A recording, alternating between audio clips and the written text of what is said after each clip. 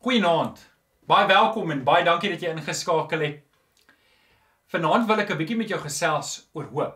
En voordat ek dit doen, wil ek jou eers herinner aan Maandag 4 Mei se dag van vas en gebed. As jy dit gemis het, gaan kyk asseblief die video's op YouTube en op Facebook en ek wil jou graag nooi om saam met my te vas en te bid. En as jy my nog nie laat weet het dat jy saam gaan bid en vas nie, laat my asseblief weet per SMS of WhatsApp. Laat my net sê, "Johan, ek gaan saam bid en vas." Kyk eens net die video's sodat jy weet waar dit gaan. Ehm um, ons ons hoop is in Christus. Gister het ons gepraat oor Christus is ons fondasie. Fondasie is iets wat jy heel eerste bou. 'n Fondasie is iets wat jy heel eerste in plek sit voordat jy enigiets anders bou. Jy gaan nie net en sê, "Wag, hier wil ek 'n huis bou" en jy bou net die mure en jy sit 'n dak op. Nee nee, want die eerste wind wat waai gaan dit omwaai. So wat jy doen is jy graaf diep slote, jy soek vastigheid, dan gooi jy jou sement met jou staal en jy bou eers jou fondament voordat jy die mure begin bou. Nou Christus is ons fondasie. Dis iets wat klaar in plek is. Christus is reeds in my lewe. Ek leef klaar vanuit die posisie dat Christus is my fondasie. Niks in hierdie wêreld is my fondasie nie. Maar nou gaan ons een verder en dit is ons hoop. Ons hoop is in Christus Jesus. Efesiërs 4 vers 4 tot 6 sê, daar is net een liggaam, net een gees. Soos daar net een hoop is waartoe God julle geroep het. Daar is net een Here, een geloof en een hoop. Een God en Vader van almal. Hy wat oor almal is, deur almal werk en in almal woon. So wanneer wanneer die Here met ons praat, wanneer Paulus vir ons hierdie dinge skryf, dan moet ons onthou ons het net een hoop. En ons hoop is in Christus. Ek hoop nie, my hoop is nie in hierdie wêreld nie. Ek hoop nie op iets om beter te word in hierdie wêreld sodat ek geriefliker en gemakliker kan word nie. Natuurlik, die Here sorg vir ons en voorsien vir ons, maar ons hoop is nie in daardie dinge nie.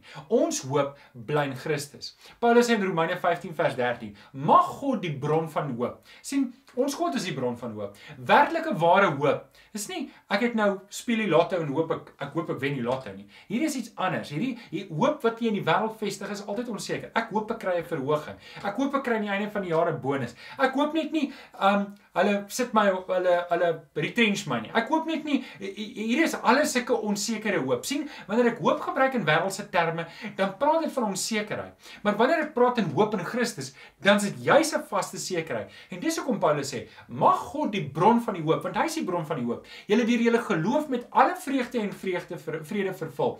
Um sodat julle hoop al hoe sterker kan word deur die krag van die Heilige Gees. sien, daar's 'n baie definitiewe byproduk wanneer my hoop in Christus is. sien, my fondasie is reg, maar nou is my hoop ook vorentoe om te weet my oë is op die Here en wat die Here doen is wat belangrik is, nie wat die wêreld doen nie. En daarom kan ek vreugde en vrede in enige tyd beleef, of dit goed gaan en of dit sleg gaan. En daarom wil ek jou uitdaag, maak Christus jou hoop vir die toekoms. Moenie jou hoop in enigiets sit nie. Moenie jou hoop aan jou werkgewer sit nie. Weet jy, 'n jaar terug was jou hoop dalk op jou salaris. En nou, nou is alles onseker. Ons hoop is nie daarin nie. Ons hoop is in die Here Jesus. Hy is die hy is ons verlosser en hy is die volëinder van ons geloof. Hy is die een wat vir ons sorg. Daarom is ons hoop in hom. Mag die Here vanaand vir jou seën dat jou hoop al hoe sterker groei in Christus Jesus. Nou môre Saterdag dan praat ons verder oor wat Christus vir ons wil doen. Kom ons sluit hierdie oop, dan bid ons saam. Vader, baie dankie dat ons oë en ons harte gerig kan wees op Christus.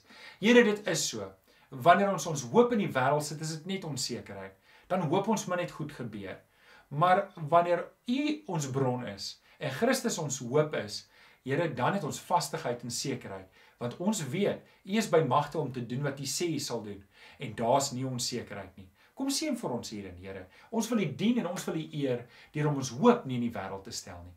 Dankie daarvoor. Ons bid dit in Jesus naam. Amen. Amen. Mag vanaand Vrydag aand vir jou lieflik wees. Dit was vandag werkersdag. Uh dis baie vreemd om 'n vakansiedag binne 'n vakansiedag te hê. Nou um, ek wil afsluit met 'n getuienis van Niels. Niels Tron gaan vir ons 'n getuienis gee en um, dis sommer net om die gesigte te hê. As jy 'n getuienis met my wil deel, maak 'n video vir my. Stuur dit asseblief vir my aan. Ek wil baie graag van jou hoor en um, sommer net hoor wat gaan aan by jou en hoe loop jou dinge met die Here. Stuur vir my video, ek wil dit graag gebruik. Die Here seën vir jou. Mooi aand. Môreoggend 8uur Dominee Chris, 1uur Rian en dan praat ons weer môre aand. En um, ek hoop jy het 'n mooi Vrydag gaan. Die Here seën. Dankie.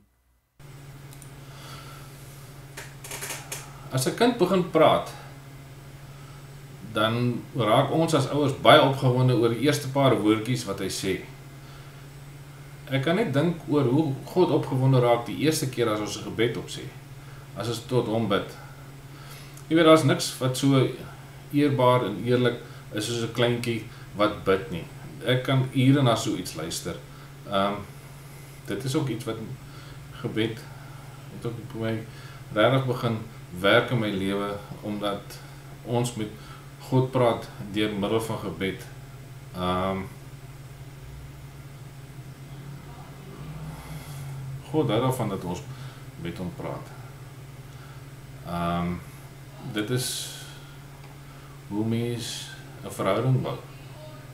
Dit is hoe jy by God uitkom om hom te vertel hoe jy voel, wat jy nodig het, wat 'n groot God hy is en al sulke goed is. Ehm um, gestel maar ons is getroudes, ehm um, hou op bid, ag hou op gesels met mekaar. Ons praat nie meer met mekaar nie.